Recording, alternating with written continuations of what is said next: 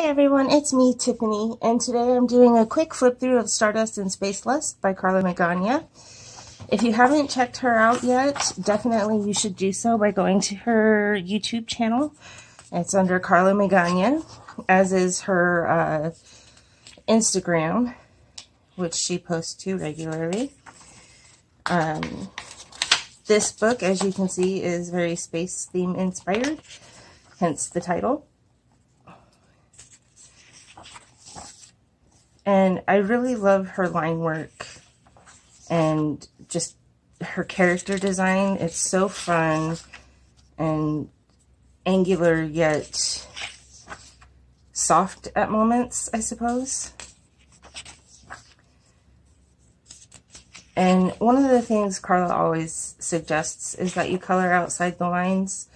Um, if you watch some of her videos, you'll see her add circles to her pages or other lines to add more dimension to the page.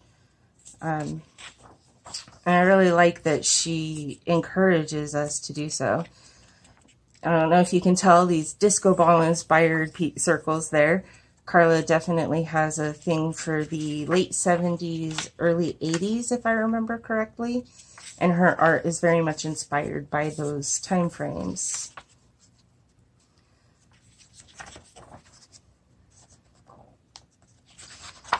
So this book has been out for a little bit. I was late in getting it.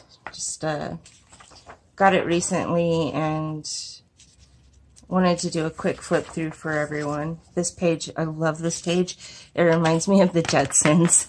And if you don't know what the Jetsons are, it's this cartoon back in the day, or my day, I suppose. Um, it was a fun family cartoon. Or family friendly, kid friendly. Anyway. This page kind of also uh, reminds me of Jem and the Holograms. Which would go back to her inspiration being the late 70s and the early 80s. And here she's included a couple of test pages, which I absolutely love. You can check out your material, make sure they work on her paper. And the last page has uh, her other books, Spooky Sweets, Dark Garden, Desert Muse, and Wee Wickeds. I still need to get my hands on Desert Muse. Couple more blank pages. And then at the end, just a nice little image with the her words color outside the lines. So anyways, I hope you all enjoyed this quick flip through. Thank you for stopping by and have a wonderfully blessed day.